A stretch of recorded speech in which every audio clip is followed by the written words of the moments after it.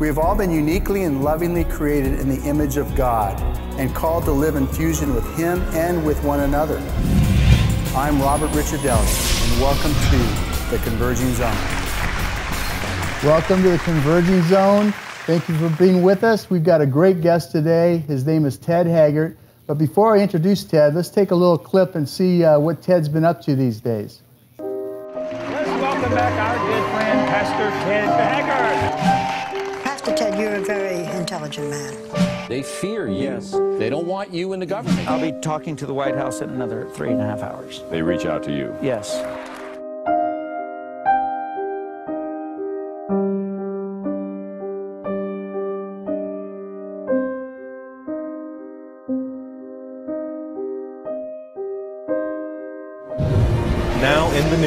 An admission of guilt, a plea for forgiveness. Former evangelical leader Ted Haggard has confessed that he's had a lifelong sexual problem. Pastor Ted, last time I saw you, you were the king of a huge megachurch. Where did all your friends go?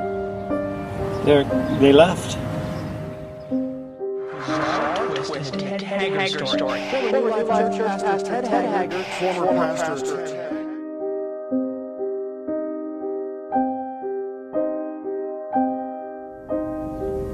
See, the reason I kept my personal struggle a secret is because I feared that my friends would reject me and abandon me and kick me out, and that the church would exile me and excommunicate me. And that happened and more. It seems folks here wish Ted Haggard well, and more importantly, they just wish him gone. The Bible says that Jesus came for the unrighteous. The Bible says that when one sheep wanders off, that Jesus will leave the 99 sheep that are together and go pursue the one. I was that one. Welcome to the show today, Ted Haggard. Hi, thank you. It's good to be here. good to have you. We've been on this convergent path. We've Yeah. been we've, we've known each other really really since the, the fall. Yeah? and uh, where you got knocked off from the top. Yeah, you know, but- but- 2006. 2006. Yeah. And we finally get a chance to meet one another, and we're right here on my show today. So It's my honor. It's a we're a pleasure to have you here. Yeah, thank you. You know, Ted, this whole thing happened, um, and obviously you can't go back. Right. What what since that time? Tell us a little bit, bit about what's been going on with your family. You've got a new church started. Talk about what's Mm-hmm. been happening. Well, the family was awesome during the scandal in 2006, and they actually drew together instead of drew apart and fragmented, which is exactly how the body of Christ is supposed to be. Yep. And so we started to see that our family was strengthened and empowered because of the process we went through. Now, when the scandal happened, I, I resigned, I repented, I confessed, and I submitted. And so I walked through that process, and in that process, we moved, and then uh, moved back to Colorado Springs once the overseers released uh, us from that process. And the kids just did awesome. And so it gave me a revelation about how the body of Christ can respond to someone else's sin. So it's positive and healing and constructive and empowering instead of responding to someone else's sin in a negative way that's, uh, that acts like Jesus isn't the, the solution to the sin problem. Yeah. You know, and so lots of people get dismayed or discouraged when they find out somebody else has sinned, but the Bible says all have sinned and fall short of the glory of God, and nobody's perfect until we see Jesus face to face. Now, I'm not excusing sin. We need to get rid of sin. But the, the blood of Jesus and the body of Christ and the Word of God are the sanctifying influences in our life to clean, cleanse us. And so I actually felt like the process I went through in 2006 was an answer to my prayers. And I'd been praying, Lord, do whatever it takes. Yeah. And so, Yeah, because this has been a struggle, and you finally it, you finally were free. right. And here's the thing that really bothered me when we first met, and I, why I reached out to you at Mm-hmm. that time, was was first of all, here's a guy broken. Mm-hmm. You know, I mean, you're on the top. You're head of the evangelical national National Association of Yeah, Evangelicals, you, and you helped bring which that. is a great group. Yeah, and you helped bring that group from 23 million to 30 million. I think Mm-hmm. I heard somewhere that y- your group was was was third behind the Democratic and Republican parties. Yeah, some people say that. Yeah. Some people say that. I don't know that it's really true, but Yeah, yeah. but to have 30 million people in a group is is It's significant. Good. It's good. And you led it well. You did a great job while you're there. I've heard good things about what you did. While I enjoyed it. I was so sad that they it ended in a scandal, but Yeah. that certainly wasn't the NAE's fault. That was my fault. Yeah, and you had one of the most successful churches in America at the same Yeah, time. it was a very influential church. Yeah. there in Colorado Springs, largest church in a three-state region. Yeah. and so we And that were- was never were your privileged. goal. You, you never had a goal. I'm going to build, Well, build the no, biggest church. No, and and I've I've never had like I've never had goals for things like that. I've always felt as though you just be faithful in the small things. Yeah. You just faithfully serve. Yeah. And so we started a prayer meeting in the basement of our home and people just kept coming. Yeah. And so we kept getting different buildings and hiring more staff and going through the process. But but I've never been the type of guy that says God has called me to build something big or to lead something big or or anything like that. So much so, I when I was pastoring New Life Church, we had a universal pay scale system. So I was on the same pay scale as the youth pastor and the janitors and the administrators in the church. And so, because I felt as though all of us were obeying God's plan for our lives. Yeah. And so, just because I'm the senior pastor and the other guy is called to be a youth pastor, he doesn't need to pay financially for that. Yeah. So, he was on the same pay scale as I was. And which is why when this scandal happened in 2006, we were broke. and so You didn't have so- a lot stored up and built up. and I was working hard. I have five children. Yeah. And all five of them were in school. So I had to earn $10,000 a month just to pay their school bills. Wow. And so we have a handicapped son that costs quite a bit and, and other things. And so I was writing books, I was traveling and speaking, I was doing everything I could to try to keep up with that. So we didn't, we weren't ahead. Yeah. See, and so, and I, I just thought as time goes on, the kids will grow and get through school and we'll be able to get ahead. But then the crisis happened, it caught us, and we're, we're still recovering from that. But you guys, you guys are getting through it. Yep. And, and, and that's exciting. You know, the thing that, uh, going back to what really um, tug, put a tug on my heart was here you were doing everything you knew to do. Mm-hmm. Here you fell. Here everything, your sin was exposed to the whole world. Mm-hmm. well, and exaggerated. And exaggerated. Yeah. A lot of untruths. Yeah. A lot of stuff that was, that was put in, out there that wasn't true. Right. Um, and in fact, let's, let's talk about that. What were some of the greatest untruths that, you- that, that you heard? Well, one of the things was uh, my accuser failed a lie detector test. Wow. And I took four lie detector tests to say what he was saying was not true. So it was- what it he was said never was covered. exaggerated. He just blew was- up a bigger thing. it- yeah, it was hugely exaggerated. Yeah. And then, um, and things like, see, reporters want whoever they're covering to be as important as possible. Yep. So they get a better position in their, so their article gets a better position or their, Yeah. their news clip. And so I never had a weekly conference call with George Bush. Um, I, uh, it, actually, I think was, GQ, had, I think, had mentioned that on, on their article. Oh, well, reporters are typically Yeah. um, lazy. Yeah. And so if one reporter writes it, then others will pick it just write it. Yeah. And so, um, so things like that. I, I'd never been a tel- televangelist. Yeah. I'd always just pastored our local church and was totally happy with that. I'd never had a radio program, never had a TV program, and um, and but they portrayed me like an anti-gay televangelist political crusader, and I was never that. I had never even contacted a political person to say this is the stance of the NAE. Yeah. Political people would contact our office and ask me to come. And so I'd met with several prime ministers and presidents and people like that, but upon their request. Yeah. See, so I never, and I always felt as though, look, life is a gift. Yeah. And so there was one time when I was with George Bush in the White House, in the Oval Office. I got on a plane, went to Mexico, and three days later, I was leading a little meeting in a mud hut. And in my world, both of those are equally important. That's great. You know, you're talking about your your exposure and the accuser exaggerating stuff. Mm-hmm. And even the accuser, the reason he said he exposed you because you were coming against Yeah, uh, it homosexuality. And, never and I never found any evidence. Never. I, I looked. I said, Never. I never seen him speak against homosexuality. Ever. Here's the worst thing they could find Yeah. about me being an anti-gay bigot. Yeah.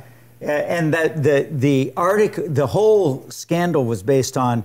He says he's anti-gay, but he's secretly gay. Yeah. you know, Yeah. and so he's a hypocrite. That's what, yeah. And so, but the sec- but but uh, it was so exaggerated and and so confused because the worst thing they could find about me being an anti-gay bigot Yeah. was me saying one time in church, in church, not a protest rally, Yeah. not a city council meeting, not at the state legislature or Congress. Right. In church, I said, if you have questions regarding your sexuality, consult the Bible. Yeah. And I said it in that tone of voice. It wasn't harsh. Yeah. It wasn't anything Angry. like that. And I believe the Bible's the Word of God. Yeah. And so, uh, so I believe, and and so actually on the web, if it'll say Ted Haggard's hate speech, Yeah. and what it is is me saying, if you have questions about your sexuality, consult the Bible. Oh, my- So the headline, the headline is dramatic and negative. Yeah. But if you look at it, you kind of go, what? and sometimes a headline is all people see. Right. So then they put all kinds and of by the way, it's very important that you and uh, all of our listeners understand headline writers are not the reporters. Yeah. When when somebody writes for a newspaper, they write the article. Then an editor that was not there takes out what he or she needs to take out to make it fit in the space in the newspaper. Then a totally different person that hasn't been involved reads the first paragraph and writes a headline. And sometimes the headline doesn't have anything to do with the article. It- the purpose of the headline is to get people to read the article. But the headline is not part of the article. Wow. And so several of the headlines about me were just totally uh, made up. But I don't mind. I mean, we live in a, we live in a fallen world, and Satan is the accuser of the brethren. All of us are flawed. I'm not perfect. Yeah. Some of some of the Even accusations today, were not true. perfect. Even today, all right. And so so some of the accusations were true. Yeah. If I was going to respond, then it was going to be tit for tat. Plus, I wanted to submit to the church Yeah. and the restoration program, which meant I couldn't respond. Yep.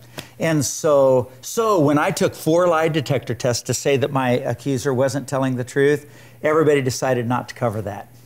Isn't that something? And here's the other thing. Yeah. You going through all the protocols. You had some big name guys. I think Jack Hayford, uh, uh, Tommy Barnett. Yep. Uh, who else was there involved? I think those two. Uh, Stockstill. Larry Stockstill, Stockstill. down in Baton Rouge. Yeah. So these guys are involved in the HB process. London and Focus on the Family. Yeah, and from from my perspective, you were doing everything you knew to do. Keep your family together. Right. Uh, get healed. Right. Go through the process that others that you respected Right. uh, were telling you to do, and yet the church, the the a, a lot of people out there remained angry and hateful. Yes, actually, there's not been a significant leader that's resigned, confessed, repented, and submitted since me.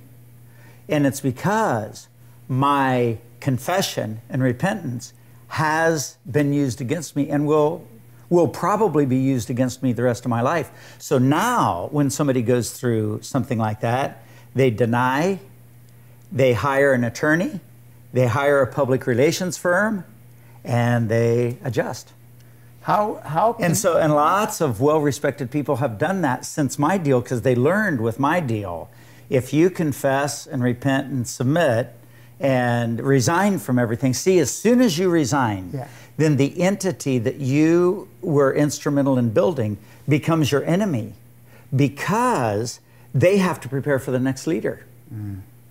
And so, so, and you lose your, your basis of communication.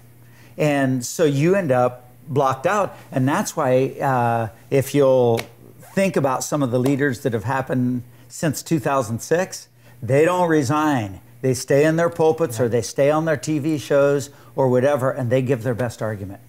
Yeah, and then so they can't be authentic. They, they probably are not going to get the healing they need if they are. Well, it's just a different process. Yeah. But but I do think that we do have a flaw because you see, see, the number one test of our character is how we respond to someone else's sin. yeah, It reveals everything about us when we're responding to another person's failure. yeah. You mentioned The, three things. The three things. number one measure of how much we understand the New Testament is by how we respond to somebody else's sin. Mm. So our response to somebody else's sin reveals everything about us. So so if we're as we go through that response, it reveals if we're healing, restorative, if we have God's view on thing, or if everything's about us. I'm just so wounded. I'm just so hurt. I had a lady call me. She was so wounded over the Tiger Woods thing. So I figured she was a friend of the family. Yeah. Found out she doesn't golf. She didn't know the family. She was just so wounded. And I essentially said to her, Look, life is rough, get a helmet. Yeah, You know, what Tiger Woods going through is between him and his wife and his kids Yeah. and the golfing association and things like that. Yeah. Doesn't have a thing to do with you. So Yeah. there's no reason for you to be hurt. You need to be restorative. What is You know? it within us? I mean, you, you talked about these elements within us, but when you're talking about a large percentage of the church that that has this, that takes it upon themselves personally to be angry at uh, at, at someone who's fallen, Yeah. regardless if they're part of the church or not part, just like you said, Tiger Woods. What is that? What does that tell us about our churches Oh, I- today? I- well, I think it's just being selfish. I mean, uh, David Letterman has been restored. Yeah. And nobody introduces David Letterman with his scandal. Yeah. Michael Vick has been restored. Certainly, Bill Clinton Yeah. has been restored in a dramatic way. Now he's probably the most influential person in the Democratic Party. Yeah. And um, and so and Martha Stewart. Yeah. I mean, she's selling towels at Kmart. and and when she's introduced, nobody says this is the person that lied to federal prosecutors. Yeah. Nobody and and so with Michael Vick when he's playing football, nobody says here's the video clip of him his scandal. Yeah. Nobody does that. So the world will allow restoration. We don't have one story. and we're not. We don't have one. That's true. And so, one notable one. Now, Yeah. there are some smaller churches that have successfully done it. Yeah. But we hate people that um, we make them idols. Yep. They don't make themselves idols. We make them idols. Then, when they're not perfect, then we blame them. Yeah. Unforgiveness means you owe me something. Yeah. And see, lots of times when people have unforgiveness, they haven't even thought about what the person owes them. But some would say, they just randomly say, well, they shouldn't be in ministry. Or they shouldn't be in ministry for two years. Or they, um, just whatever. People randomly, or they owe me a personal apology. Or whatever. Yeah. And so, um, Our empathy. Where is our empathy? You know, my first thing was his family. Well, it's roles. I mean, Ted. E- Exactly, it's roles. See, i- here's the way. Now, this is a generalization, so it's Right, false. right. There are exceptions, but generally speaking, the Bible will do a good job of teaching and instructing us. Satan does a more than adequate job accusing us. Okay, um, God will do a fine job judging us. That's That's good. That's his role. Okay, journalists are, will do a fine job gossiping. They're going to tell everybody everything they know. Right. The district attorney can be an expert in people's sins. But none of those are our primary role. Yeah. Our primary role is to be a believer in the Lord Jesus, which means our role is to encourage whatever the Holy Spirit is doing in the man or, or the woman. Encouragement includes healing, restoration. We are supposed to do what Christ does. Christ will leave the 99 to pursue the one. Okay? All Jesus does is make intercession for us, heal us, give us another opportunity, encourage us, strengthen us. And so that's our role. Yeah. And so, so for us to fragment and divorce in our churches, we find out the youth pastors peeping in the neighbor lady's window. So he just disappears. That is not the way to do it. No. When we find out he's peeping in the neighbor lady's window, we meet with him and work him through a process so he can be okay. Yeah. So his wife and his kids will be fine. See, sin It- we have to decide what is the solution to the sin problem. Yeah. Is it the Old Testament or the New? Yep. If it's the Old Testament, we need to punish them and make an example of them. If it's the New Testament, we need to heal them and restore it. And of course, we're New Testament believers. I was part of a church where the where the and this guy was an associate pastor. This was years ago. Beautiful musician, beautiful family. Uh, had an indiscretionary moment with one of the choir members, and uh, and basically at the at the time that it was discovered, uh, you know, they nipped it in the bud before it got too much of a, a romantic situation. But he got basically he and his family were removed from the ministry, even though he was a big part of the ministry. So instead of so so he was removed, and then and I think it was Assembly of God Church. So he was put on a two-year uh, I forget what they call a sabbatical thing where he can't do any ministry, and they go through the pro- healing process. But then when he comes back, he can't come back to that church. See, that's that's stupid. Yeah. Okay, and they say, well, we want to give people room. Matthew 18 is perfectly clear. If there's an offense between people, they need to see each other. Yeah. That's how we all get stronger. Okay, now, I believe a person may need to step out Yes. for the purpose of their healing. If it's punitive, they should not step out Yeah. because that's not our role. Yeah. Every pastor is a sinner. Luther said we're all simultaneously saints and sinners. Yep. So now we're growing in sanctification. Every worship leader is a sinner. Every Sunday school teacher is a sinner. And every person passing judgment is a sinner. Yeah. And by the way, everybody lies, Yeah. but the judgmental people lie more than anybody else. All right, so, so, so see, when he went through that, the testimony would be in, in Galatians, the sixth chapter, where it says, Restore somebody gently. Okay, you who are spiritual, restore somebody gently. That means, restoration means, make it as if the, the violation never happened. So when you go into a house and restore it, you make it like it was or better. Yep. And and see these. Here's my uh, belief.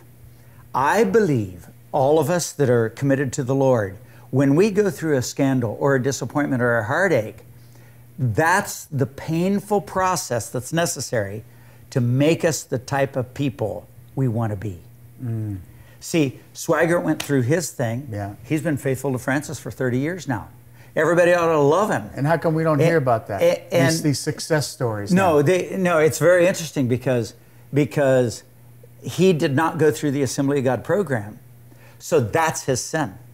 But the purpose of that program is to make him faithful to Francis. So see, we got the end result. But they didn't get the credit. They didn't get the credit, and so so so most people hate him to this day. And he's a he's a wonderful And guy. And they relive it in their minds as if it happened yesterday. And what he went through, see, I mean, he has had a, a, a sexual addiction, had had a sexual addiction since he was 13 when he went through puberty. All right, so it finally came out. That guy had repented of that a thousand times, but he had an issue that he needed to walk through. All right, he went through the initial scandal, then two years later had another incident, got caught. All right, and every therapist will tell you, in order to have deep, significant change inside of us, it has to be painful. Wow. And and so so when Bill Clinton went through the Monica Lewinsky thing, he changed. When I went through my 2006 thing, I changed. Yeah. And uh, and so I felt like It probably took something like that for change, doesn't it? Sometimes. well, yeah, because my issue was physiological. It wasn't spiritual and it wasn't a sexual orientation issue. It was a physiological issue.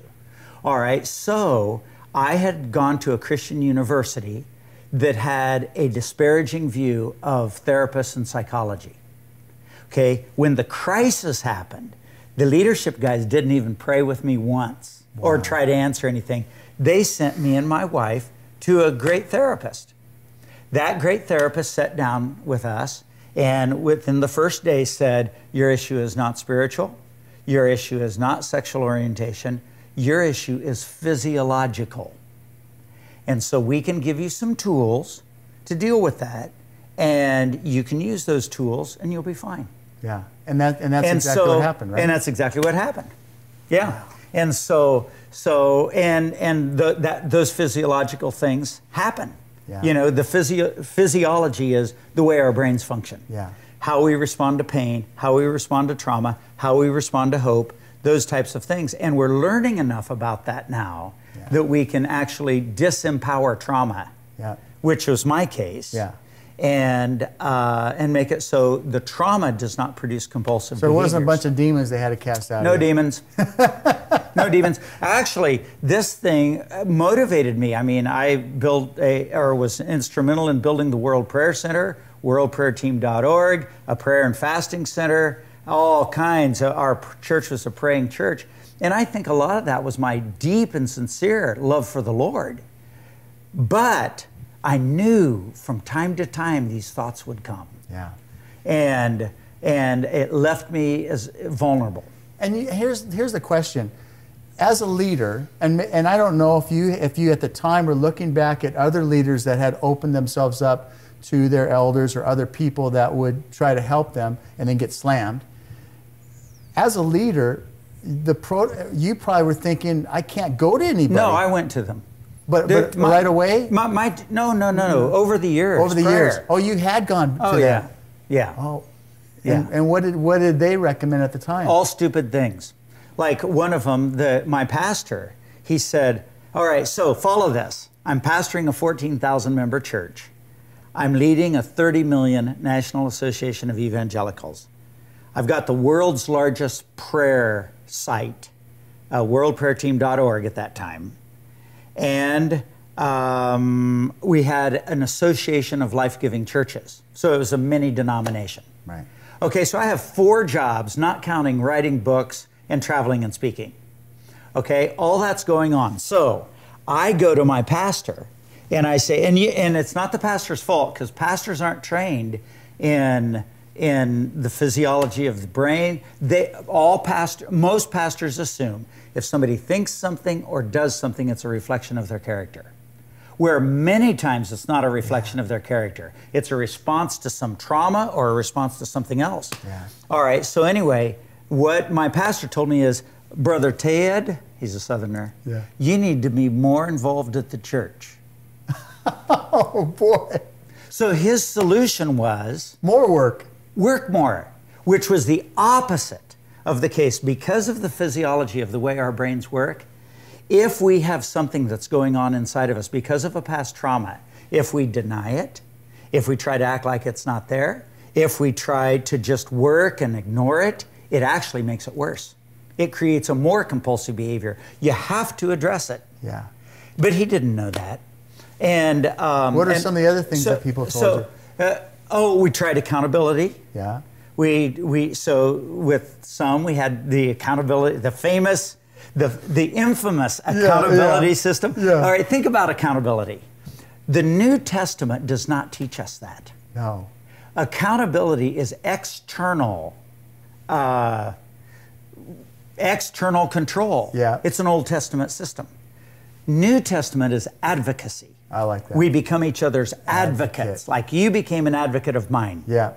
All right, and so and that strengthens me. Yep. See, And you s- ha- that builds and trust. So, so exactly where there's no model in the New Testament for that kind of accountability, but I tried that because it's popular, and you know, Promise Keepers did it. Yeah. And so we we tried accountability. We tried a variety of different things as as time went by, and um, and we enjoyed a great measure of success. But I had an internal war going on, and see, I didn't understand it because the New Testament says where we become a new creation, we have the renewal of the mind, and so we have internal transformation. The Old Testament is external control. Mm.